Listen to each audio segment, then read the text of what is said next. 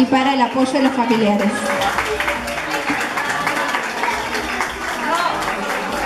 Entre estas niñas entonces tendremos las elegidas como reinitas o reinas del carnaval de Santa Catalina 2017. Y quiero también que se vayan con un concepto, que más allá de las niñas que sean electas en sí como reinitas, que se lleven el concepto de que siempre serán reinas en el corazón de las personas que las quieren. Porque eso es muy importante también. Que el hecho de participar, que hoy pueden o no pueden, obviamente, aquellas que salgan electas van a estar felices y las que no, no tanto. Pero está bueno también que las sigan apoyando y estimulando para que nunca pierdan las esperanzas y que las apoyen siempre que ellas quieran participar en cualquier ámbito, en, en la vida en sí, que siempre tengan apoyo.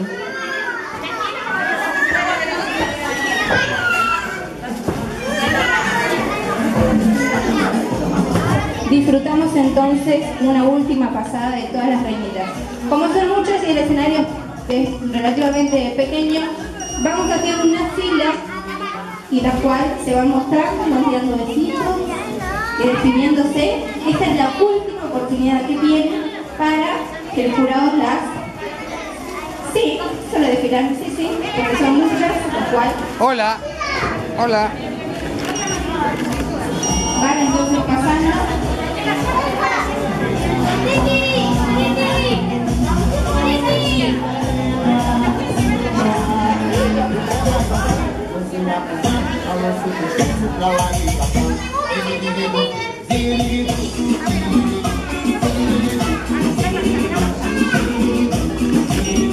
Queremos también destacar el gran número de participantes que son, porque obviamente hay concursos, certámenes de que son 5, 6, 7, 10, pero no, tuvimos la presencia de casi 40 niñas, restando obviamente las que no se presentaron, que serían alrededor de 30 niñas lo cual hay 30 familias hoy acá y eso es muy importante.